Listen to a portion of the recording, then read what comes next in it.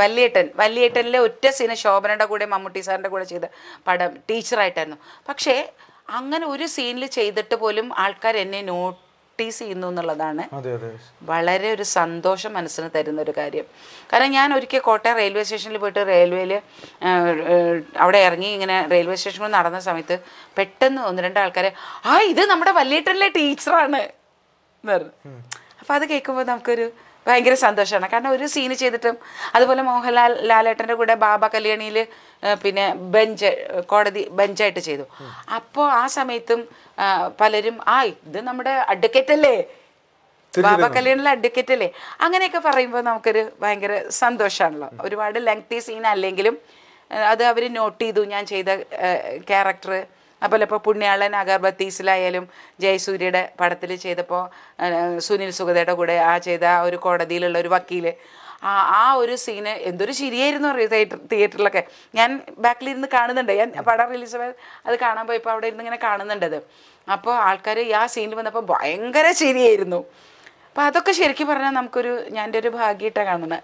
കാരണം എനിക്ക് എന്റെ കുടുംബപരമായിട്ടോ അല്ലെങ്കിൽ അങ്ങനെ ഒരു സിനിമ ഒരു ബാക്ക്ഗ്രൗണ്ടോ കലാപരമായിട്ടേ ആരുമില്ല എന്റെ ഫാമിലിയിൽ ആദ്യം വന്ന ആൾ ഞാനാണ്. ഞാൻ എല്ലാവരുമായിട്ട് നല്ല രീതിയിലാണ്. എന്നാൽ ഒരുപാട് എല്ലാവരോടും അടുക്കാനും പോയിട്ടില്ല. അതെന്താന്ന് വെച്ചാൽ അവരും തിരക്കിലാണ്. ഞാനും എന്റെ ജീവിതമായിട്ട് തിരക്കിലാണ്. അപ്പോൾ കാണുമ്പോൾ സംസാരിക്കും എന്നതിൽ കവിഞ്ഞ് ഞാൻ കൂടുതൽ ആരോടും ഒരു അറ്റാച്ച്മെന്റ് എന്ന് പറയുന്ന രീതിയിൽ ഞാൻ ആരോടും വെച്ചിട്ടില്ല. എല്ലാവരോടും ബഹുമാനമാണ് സ്നേഹമാണ് ഇഷ്ടമാണ് കാണുമ്പോൾ സംസാരിക്കും. പിന്നെ എന്തെങ്കിലും ആവശ്യം വന്നിട്ടില്ല ഇതുവരെ. അങ്ങനെയുള്ള സന്ദർഭത്തിലൊക്കെ വിളിക്കും. അങ്ങനെയൊക്കെ. ഒരു വേഷം കണ്ട് അപ്രത്യക്ഷം ചെയ്തില്ലായിരുന്നോ? പിന്നെ തീർച്ചയായിട്ടും ഭൂതക്കണ്ണാടി അതാണ് എനിക്ക് ശരിക്കും ഒരു അവാർഡ് കിട്ടിയ പോലെ പോലെയായിരുന്നു. ഭൂതക്കണ്ണാടി എന്നുള്ള സിനിമയിൽ ഞാൻ വളരെ ചെറിയൊരു വേഷമാണ് ചെയ്തിരിക്കുന്നത് അതിലാണ് എന്റെ മോൾ ആദ്യമായിട്ട് അഭിനയ രംഗത്തേക്ക് വരുന്നത്. ആ, മമ്മൂട്ടി സാറിന്റെ മോളായിട്ട് മമ്മൂക്കന്റെ മോളായിട്ടാണ് അഭിനയിച്ചത്.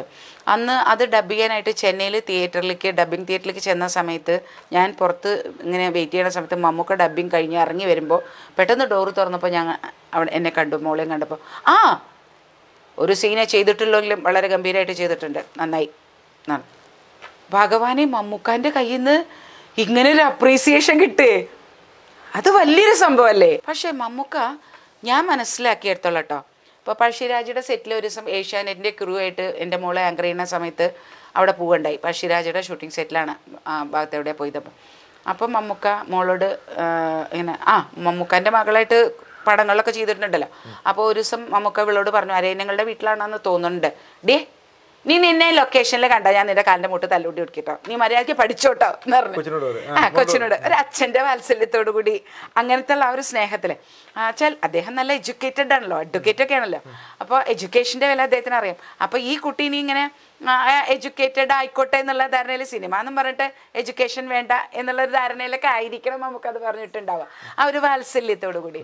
അപ്പോൾ ഞാൻ ശരിക്കും അദ്ദേഹത്തിന്റെ ആ മനസ്സ് നമുക്കത് മനസ്സിലാക്കാൻ പറ്റുന്നുണ്ട്. പറ്റി. അങ്ങനെ ഈ പഴശ്ശിരാജയുടെ ലൊക്കേഷനിൽ ചെന്ന സമയത്ത് മമ്മൂക്ക മോളോട് പറഞ്ഞു. അപ്പോൾ ഞാനാണെങ്കിൽ ഇപ്പോൾ ഇന്നത്തെ പോലെ പോലെയല്ല. അപ്പം ഞാൻ കുറച്ച് തടിയൊക്കെ കുറച്ചിട്ടുണ്ട് കുറഞ്ഞിട്ടുണ്ട്. യോഗയൊക്കെ ചെയ്യും ഡാൻസൊക്കെ അത്യാവശ്യം കുറേശ്ശൊക്കെ പ്രാക്ടീസ് ചെയ്യും.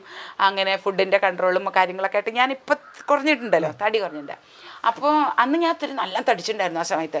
അപ്പം മമ്മൂക്ക മോളോട് ഇങ്ങനെ ചോക്കിയത് ഡേ നിന്റെ അച്ഛനാണെങ്കിൽ മെലിഞ്ഞു വരുന്നു. അപ്പം നന്ദേട്ടനായിട്ട് വലിയ കം നല്ല ഇഷ്ടമായിരുന്നു നിന്റെ അച്ഛൻ അങ്ങോട്ട് മെലിഞ്ഞു വരുന്നു. നിന്റെ അമ്മയാണെങ്കിൽ ഇത് അങ്ങനെ തടിച്ചും വരുന്നു. എന്താ അത്? അങ്ങനെ ഒരു തമാശ അപ്പൊ അദ്ദേഹം ഇത്ര ഗൗരവക്കാരനാണ് നമുക്ക് തോന്നുമ്പോഴും ഇത്ര നല്ലൊരു മനസ്സാണ് മമ്മൂക്കാന്റെന്ന് നമുക്കത് മനസ്സിലാവും. ഭയങ്കര ലവബിൾ പേഴ്സൺ ആണ് കേട്ടോ മമ്മൂക്ക അത് പറയാതെ വയ്യ. കാരണം അദ്ദേഹം പ്രകടിപ്പിക്കില്ല.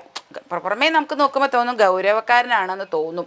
പക്ഷെ മമ്മൂക്ക നല്ല ഒരു മഹാ ഒരു വ്യക്തിത്വത്തിന് ഉടമയാണ് മഹാനടൻ. അതേ പറയാൻ പറ്റും. ലാലേട്ട കുറച്ചും കൂടി ഫ്രീ ആയിട്ടല്ലേ സംസാരിക്കുക? അപ്പൊ ലാലേട്ടൻ എന്ന് പറഞ്ഞു കഴിഞ്ഞാൽ നമുക്ക് മമ്മൂക്കാനെ പോലെ ഒരു ഗൗരവ സ്വഭാവം നമ്മളടുത്ത് കാണിക്കില്ലല്ലോ.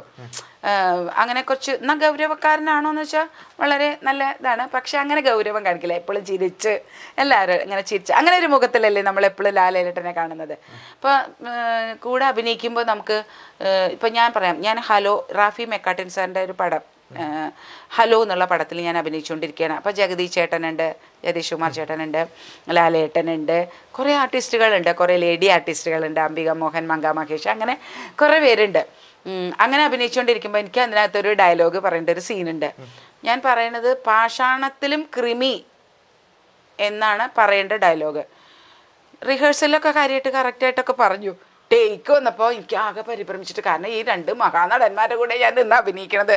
ആരെ? മോഹൻലാൽ ചേട്ടനും പിന്നെ ജഗദീഷ് ചേട്ടനും. ഇവരെ രണ്ടുപേരും പിന്നെ ജഗദീഷ് ചേട്ടൻ ഇവരൊക്കെ നല്ല ടൈമിങ്ങും ഒക്കെ നല്ല ആർട്ടിസ്റ്റുകളല്ലേ അപ്പോൾ എനിക്കിങ്ങനെ ഒരു നേരിയ വിറയിലും പേടിയൊക്കെ ഉണ്ട് കേട്ടോ. എത്ര കാലം കഴിഞ്ഞാലും ഒരു ക്യാമറയ്ക്ക് മുന്നിൽ വെക്കുമ്പോൾ അത് ഇപ്പോൾ സ്റ്റേജിലായാലും അത് നമുക്ക് ഫീൽ ചെയ്യും. അങ്ങനെ ഒരു ഇതുണ്ടാവും.